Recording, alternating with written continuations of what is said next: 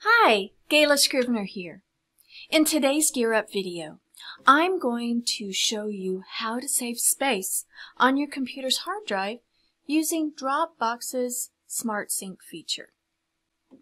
Using Dropbox desktop app is a convenient and super user-friendly way to store all your files. And once you install the app, any files that you have in your Dropbox account will sync to your desktop. And you may or may not realize this fact, but all of those files that are in your Dropbox account and that are synced with your computer are taking up valuable space on your computer's hard drive. And there may become a time where space becomes an issue. See, we here at Scrivener Solutions have been using Dropbox in our business for well over eight years. And as our business has grown, also the our library has grown of the document files, the video files, the audio files, and any design files. Those take up valuable space on our hard drives. And I encourage everyone on the te- on the Scrivener Solutions team to use the Dropbox Smart Sync feature because we don't necessarily need to access every single file that's synced up all the time. There's only certain folders and files that we access on a continual basis.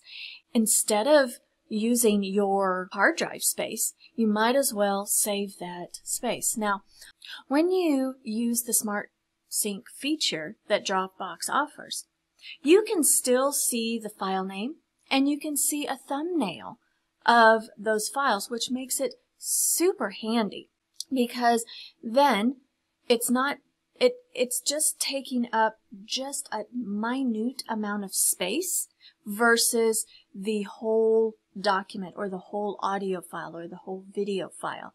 It's just showing a little snippet and it saves a lot of space on, on your hard drive.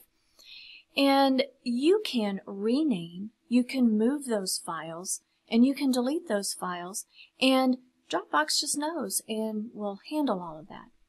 But if you need to like make modifications to the document or the, the design file, for example, all you have to do is double click on it and then it will sync with your computer so that you can open up that file and make the modifications and do what you need to do.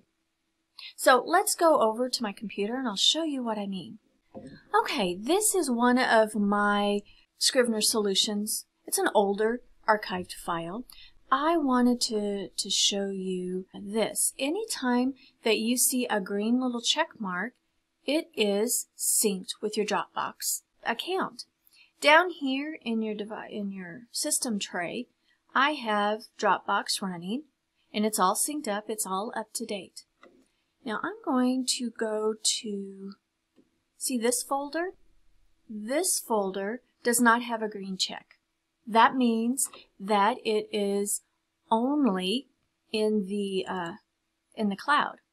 But I can see all the documents here, or excuse me, all the video files. If you right click, you can see by going to the properties, you can see that that is almost three gigabytes of space.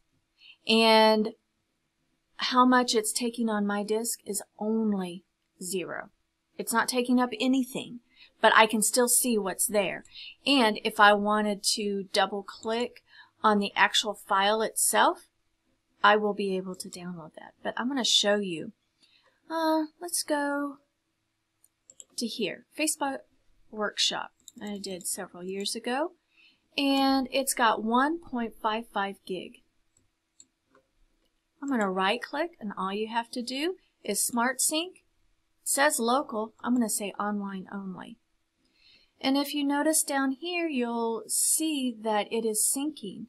And one by one, these documents are going to have little X marks next to them.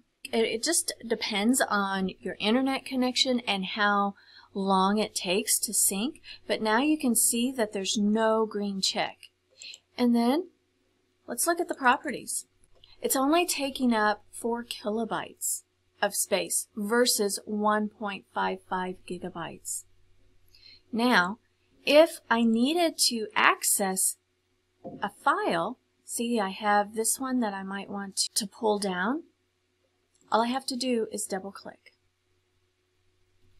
It's going to bring up the file and that one file has now a green check. It's synced while the rest of them are just up in the cloud. But you can get a gist by the thumbnail of what it is.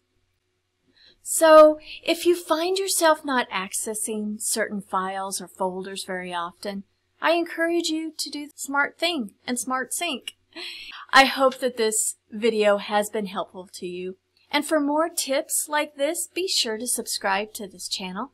Well, thanks for watching.